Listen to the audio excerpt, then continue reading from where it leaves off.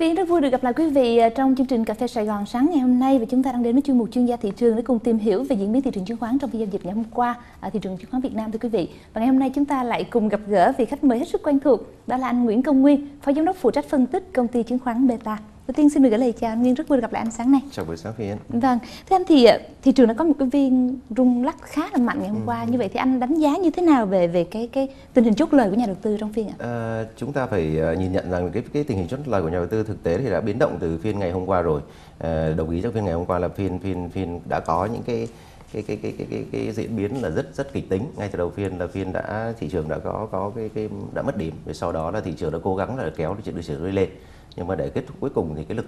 uh, lực cung ấy đã rất mạnh và và ở cái cái cái lượng hàng mà để thoát hàng ra để người ta chốt lời là khá là lớn cho nên đầu phiên thì thị trường đã không thể giữ được điểm số và đã mất điểm thì tôi thấy rằng cái tình hình chốt lời ở đây là phiên phiên ngày hôm qua là cái phiên mà đã khởi đầu khởi đầu cho một cái những cái phiên tiếp theo là sẽ cái lực chốt lời thì nó sẽ có cái nguy cơ là sẽ tăng mạnh đã sẽ tăng dần lên những phiên phiên sắp tới. Vâng vậy thì anh muốn chia sẻ gì để để có những cái lưu ý gì muốn chia sẻ với nhà đầu tư ạ? Ờ, thì tôi thấy rằng là cái cái khi mà thị trường đã qua một giai đoạn tăng trưởng rất nóng mà rất nhiều những ờ, nhà đầu tư đã có những cái cái danh mục của họ đã đã có những cái ờ, cái cái, cái số mà đã đã đạt được cái nhận lợi nhuận kỳ vọng thì họ đã bắt đầu chốt lời. Thì nhà đầu tư phải cân nhắc phải phải xem xét thật rõ là cái cái lượng cái lượng hàng mà lượng cung ấy nó sẽ ở cái mức độ như thế nào. Nếu mà cái lượng cung đột biến mà cái lượng cầu thì lại không có thì nhà đầu tư uh,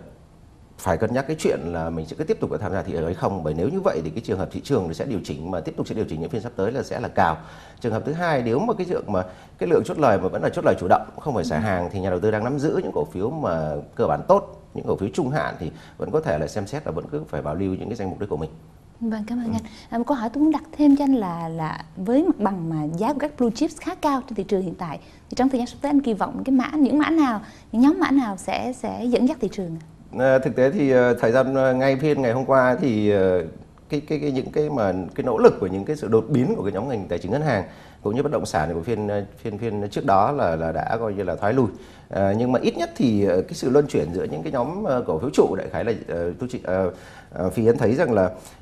nhóm cổ phiếu tài chính ngân hàng này bất động sản này Ờ, rồi đặc biệt là dầu khí, trong đó có gas. Thì tôi thấy rằng là trong thời gian sắp tới, tôi nghĩ rằng là tôi vẫn kỳ vọng rằng đấy là những cái nhóm trụ mà để tác động lớn nhất trên chỉ số đó vẫn là cái nhóm tài chính ngân hàng. Bởi vì cái ngành tài chính ngân hàng năm ờ, đang ở trong cái giai đoạn là tăng trưởng là khá là tốt với những kế hoạch kinh doanh cũng như là lợi nhuận là khá là là tích cực thêm vào nữa thì những cái cái cái cái về tín dụng cũng trong năm nay cũng cũng rất rất là đáng là khích lệ và đặc biệt là hai quý cuối năm thì thường cái chuyện dòng vốn mà mà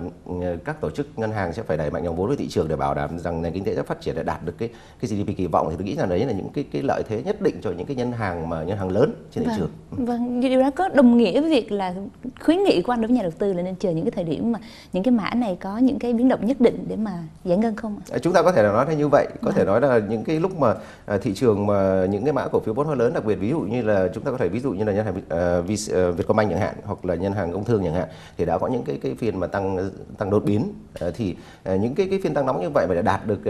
cái mã này đặc biệt là ví dụ như là ngân hàng Vietcombank thì đã đạt ừ. được những cái cái cái mức giá là cao mức mã đỉnh rồi vâng. thì khi mà để cái cái mã cổ phiếu đã đạt mức đỉnh thì ít nhất thì cái mã cổ phiếu đã có khả năng có thời gian để tích lũy mà rất có thể là sẽ phải điều chỉnh trở lại bởi vì tạo một bằng giá mới không phải là để tạo một cái hiện tượng breakout thì không phải là đơn giản. Thì tôi nghĩ rằng là vẫn có thể cân nhắc mua vào những cái khi mà những cái mã ngân hàng những mã đó điều chỉnh. Nhưng với điều kiện rằng là cái điều chỉnh đó chúng ta không có nên mua ngay lập tức khi mà cái phiên điều chỉnh đầu tiên. Vâng. chúng ta cần phải thời gian một vài phiên để xem xét cái mã này nó sẽ biến động như thế nào vâng nói về chiến một cái chiến lược đầu tư an toàn thì theo anh là với cái thời điểm mà tăng trưởng nóng như thế này thì thì đâu là một cái chiến lược anh cho là an toàn ờ, ở cái thời điểm tăng trưởng nóng thì nó sẽ có cái hiện tượng như này là có rất nhiều nhà đầu tư là người ta sẽ vào thị trường trễ ừ. tức là khi người ta tham gia thị trường thì đã tăng nóng rất nhiều phiên rồi thì lúc đó thường chúng ta đi sau thì chúng ta cái cơ hội mà chúng ta tìm kiếm lợi nhuận nữa hầu gần như là đã đã bị giảm dần rồi ừ. thì những cái thị trường mà tăng nóng thì luôn luôn nó sẽ có những ở một, không bất cứ một cái thị trường chỉ số nào có thể tăng liên tục được và tăng mãi được. Nó sẽ đến một thời điểm là thị trường sẽ phải điều chỉnh. Ừ. thì càng vào trễ thì cái cơ cái cái cái rủi ro và địa chủ đỉnh càng cao. Thì những cái chiến lược mà nhà đầu tư để tham gia vào thị trường đang tăng trưởng nóng mà đã bị trễ rồi ấy, thì nhà đầu tư tốt nhất lên lựa những cổ phiếu cơ bản thật tốt và ừ. những cổ phiếu mà thời điểm vừa qua mà đã đi tăng chậm hơn thị trường tức là chưa tăng trưởng. Cái điều thứ nhất. Thứ hai nữa là cũng phải tuyệt đối là xem xét thật kỹ những cái cổ phiếu cơ bản những cái kết quả kinh doanh uh, tất cả những cái chỉ số tài chính của những cổ phiếu đó đặc ừ. biệt là bởi vì không có một cái yếu tố nào mà quan trọng bằng chính cái nội tại của cái doanh nghiệp đó cái cổ phiếu đó để chắc chắn rằng cái giá cổ phiếu đó có hợp lý hay không Vâng, một lần nữa xin được cảm ơn anh rất nhiều về những chia sẻ trong chương trình sáng ngày hôm nay. Dạ, thưa quý vị, chúng ta vừa có cuộc trò chuyện cùng anh Nguyễn Công Nguyên là Phó Giám đốc phụ trách phân tích công ty chứng khoán Beta xung quanh diễn biến thị trường chứng khoán à, trong nước trong phiên giao dịch ngày hôm qua. Và những thông tin vừa rồi cũng mang à, tính chất tham khảo đến từ chuyên gia chứng khoán. Chúng tôi hy vọng là quý vị sẽ có được à, những thông tin cũng như là chắc lọc được những thông tin có ích cho chính bản thân mình, cho những quyết định đầu tư của mình trong tương lai. Và đến đây Phi Yến xin được mời quý vị quay trở lại với bản tin Cà phê Sài Gòn sáng ngày hôm nay.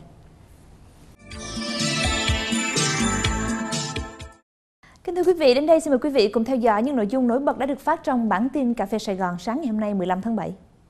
Chuẩn bị cho cuộc họp bàn về mức tăng lương tối thiểu 2017, đại diện Tổng Liên đoàn Lao động và các doanh nghiệp lại gặp bất đồng quan điểm. Cụ thể, Tổng cục Lao động đề xuất mức tăng lương tối thiểu vùng cho năm 2017 là khoảng từ 10 đến 11% cho đời sống người lao động đang gặp khó khăn. Ngược lại, phía các doanh nghiệp cũng cho rằng tài chính của doanh nghiệp đang hạn hẹp, do đó đề nghị không tăng lương tối thiểu trong năm tới.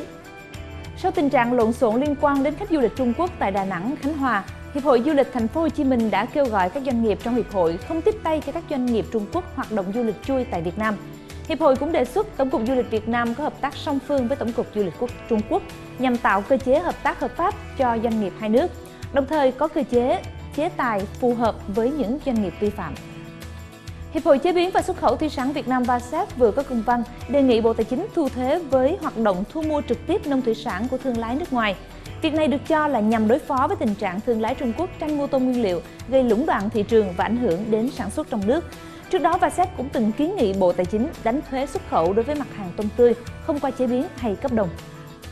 Ngân hàng Trung ương Malaysia vừa bất ngờ cắt giảm lãi suất cơ bản 0,25 điểm phần trăm xuống còn 3%. Đây là đợt giảm lãi suất đầu tiên trong 7 năm qua, giữa lúc kinh tế Malaysia gặp khó khăn, xuất khẩu giảm và dự báo kinh tế toàn cầu ảm đạm. Cụ thể, kinh tế Malaysia tăng trưởng 4,2% trong quý 1, đây là mức thấp nhất kể từ năm 2009. Ủy ban châu Âu vừa công bố sẽ đưa ra những quy định mới về người di cư đến châu Âu. Một phần của quyết định này nhằm ngăn bớt lượng người nhập cư trái phép đi lại qua biên giới các nước trong khu vực, gây rối loạn khu vực tự do đi lại theo Hiệp ước Schengen. Ủy ban châu Âu sẽ thông qua dự thảo nghị định mới tại từng quốc gia trước, sau đó chuyển cho Quốc hội châu Âu để đưa thành luật. Và đến đây thì bản tin Cà phê Sài Gòn sáng 15 tháng 7 xin được khép lại. Thay mặt những người thực hiện chương trình, Phi Yến xin được cảm ơn quý vị đã quan tâm theo dõi. Xin mời quý vị cùng theo dõi lại bản tin Cà phê Sài Gòn cũng như tất cả các bản tin khác đã phát trên kênh fbnc thông qua trang web fbnc vn. Và đến đây Phi Yến xin được kính chào và hẹn gặp lại quý vị trong những bản tin tiếp theo.